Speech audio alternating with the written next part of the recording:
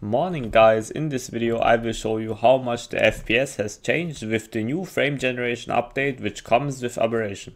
In these clips all my settings are on low besides my resolution which is on the highest. Here are also my specs if you're interested in those.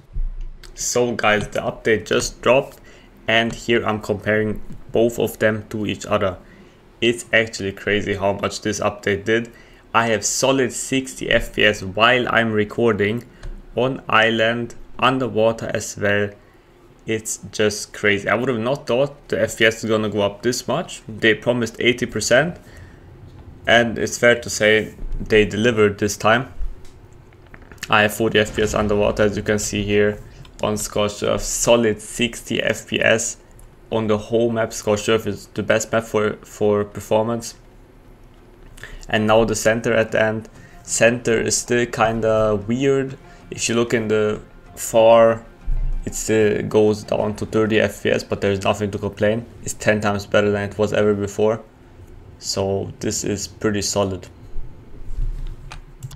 So guys the update just dropped on aberration.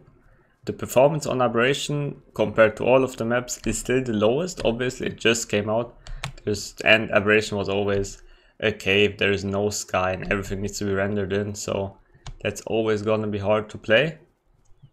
But even with that, I have solid 30 FPS, which is obviously not good, but if I get rid of clouds and all of that shit, then it is probably going higher. But just like this, it has solid 30 FPS, and the setting is called, you're gonna see it, VSync mode.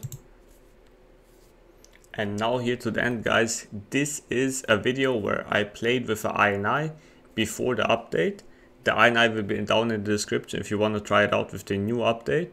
I had solid 40 FPS when I had before without INI maybe 20 so it definitely helps a lot. They will, the, they will be in the description, you can use them for yourself, just copy the same thing in there and you're probably gonna have like maybe even like 80 FPS or something. I've never seen that before in Center, but maybe you can have it.